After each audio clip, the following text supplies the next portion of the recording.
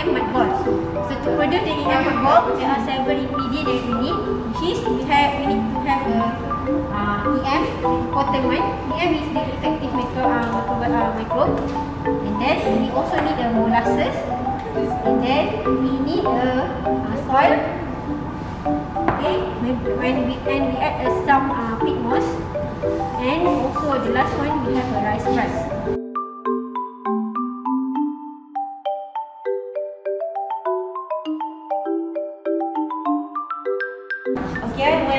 Open this, you can hear the hissing sound. Okay, this hissing sound indicate that the, the microbes alive. Okay, because I've already opened this few times.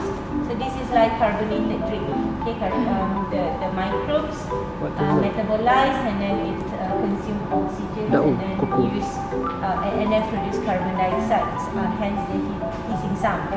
Okay, so this contains microbes and this is the rice bran. Okay, the microbes um, that came from animal digestive system. So we use rumin ruminated uh, grass, grass fed uh, and from grass fed animal uh, to obtain these uh, effective microbes.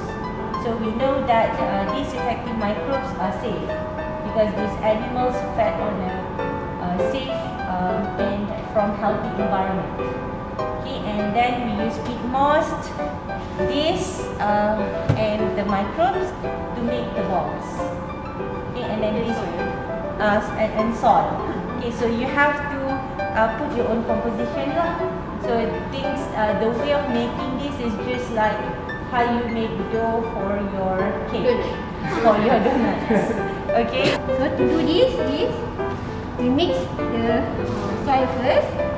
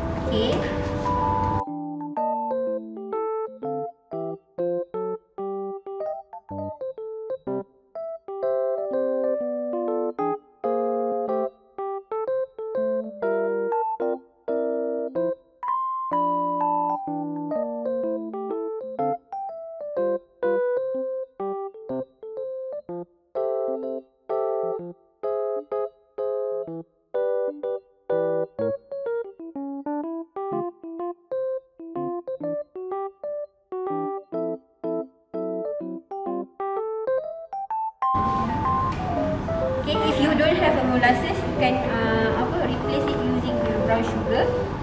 Okay. And then the last one is your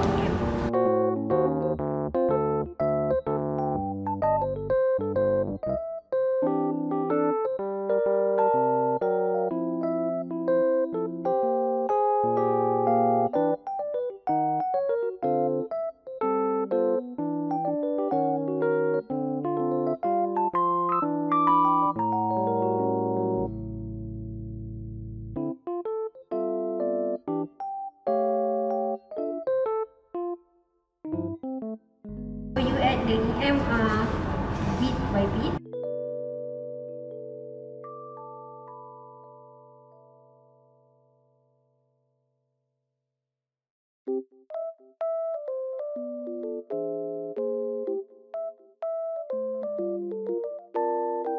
Make sure don't put uh, the uh, much uh, too much uh, moisture. Otherwise you cannot mold it.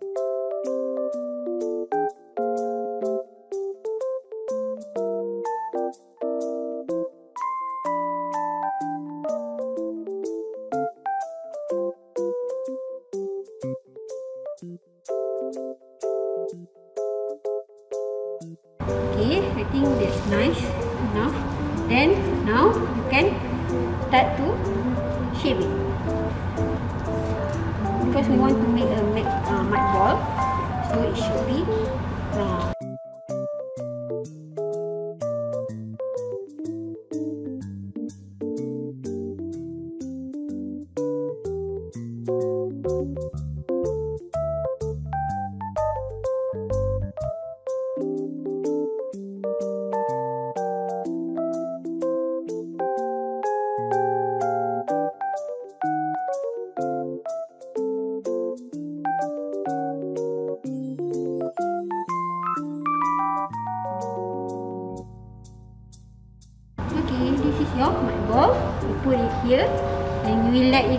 Dry for one or two weeks until it stabilize. Okay? Okay, let's see.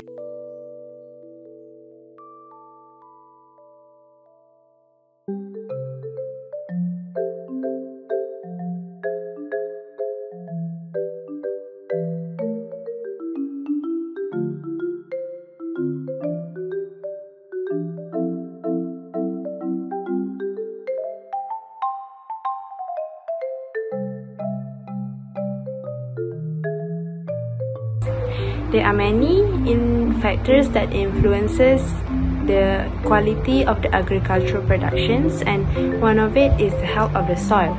As such, a, a healthy soil will produce a better quality of agricultural productions.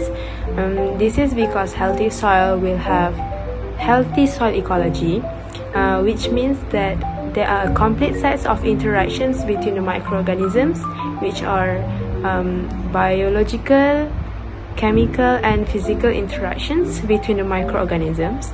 And healthy soil ecology will create a barrier that prevent uh, diseases from infecting the plants so the plants are healthier.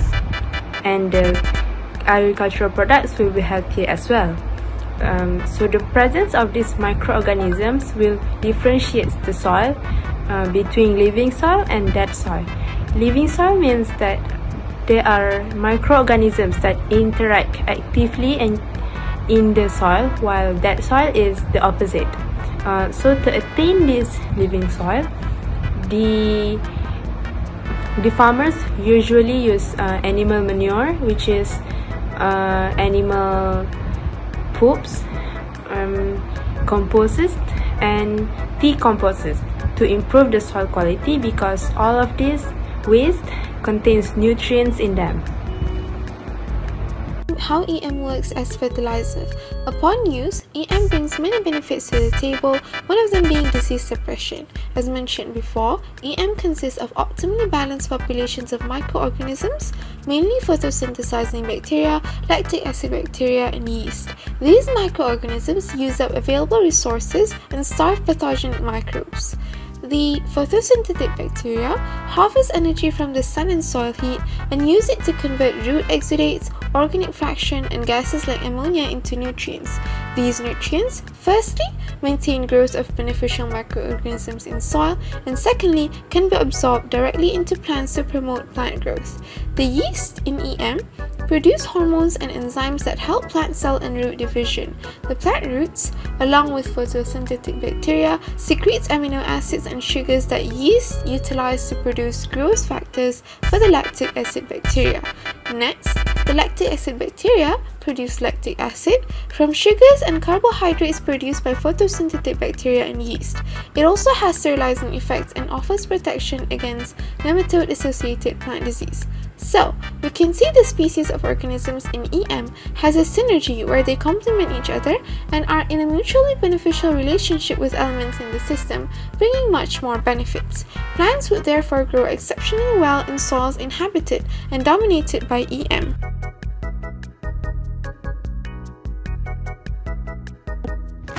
Effective microorganism mud balls can also be used in water treatment.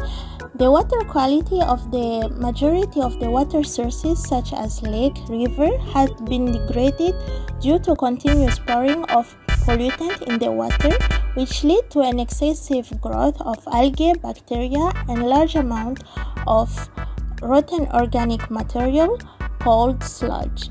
This factor causes large damage to the water sources. Sludge contain bacteria that produce harmful gases such as methane, ammonia, and hydrogen sulfide by decomposing organic matter without oxygen.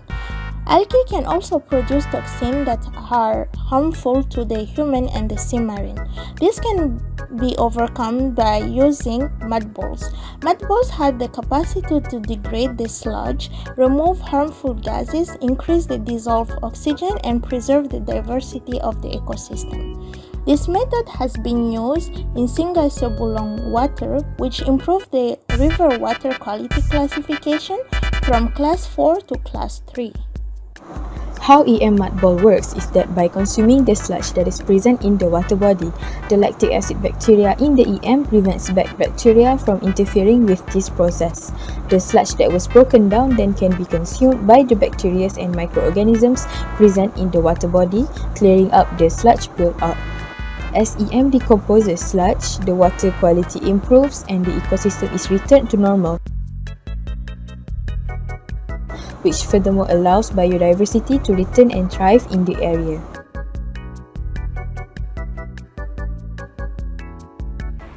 Next, wastewater treatment is a process used to remove contaminants from wastewater or sewage and convert it into an effluent that can be returned to the water cycle.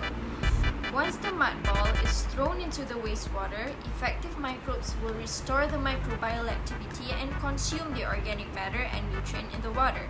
In addition, it will activate the sludge in the bottom and reduce the quantity of sludge sitting on the bottom.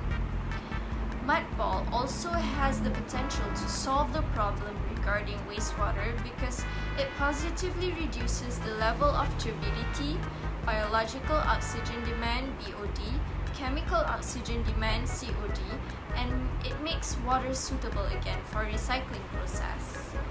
So we're gonna talk about how EM that uh, help uh, the wastewater to be like accessible one more time for alternative ways. First of all, we have to understand what the meaning of wastewater, what we call it as a wastewater. Wastewater means like as a water which have a high uh, high concentration of heavy metals, BOD and COD, and even the pH is high. All of this causing many stages, which is will be first of all that is gonna changing the color of the water. It's gonna also uh, like it's gonna be like as a barrier to make the sun not penetrate the the water and and uh, and like. Uh, like decrease the, the oxygen rate inside the water. Also we can say that like the the bacteria is gonna be in the top so it's also gonna be like as a barrier for penetration for the sunlight. All of that is causing uh, a wastewater. So all of this is all of this how it can be helped by the EM EM have a special ability. It can uh, first of all it can help to utilize the some bacteria which is gonna reduce the COD which is like it's, it's good it's, it's good to do that. It's like it's gonna help us for doing that. Second is also absorbing all of the zinc and all of the heavy materials that is inside the, the water. It's also changing the color. It's work as a filtration uh, for the water which what we need literally. So for the I have a simple paper that I searched for and stated some numbers that is amazing. We say for this EM we can see that the uh, is reducing the concentration of BOD, COD, and zinc as much 84%, 90%, 78% regardless. And this is like a really huge numbers. So that's why EM is one of the most efficient way to help to as a wastewater treatment for the rivers or like for other applications or for the other like wastewaters. It's so it's so effective and also making the environment uh, like looks more clean and beautiful. And the more important thing is is helping the marine creatures which is like inside the rivers and inside the and inside the lakes which is like make him make them like have a better uh, marine uh, marine life or like better life under under the lakes and under the rivers. So um, uh, thank you so much for listening and I will uh, put a reference for my paper and I hope you have a good day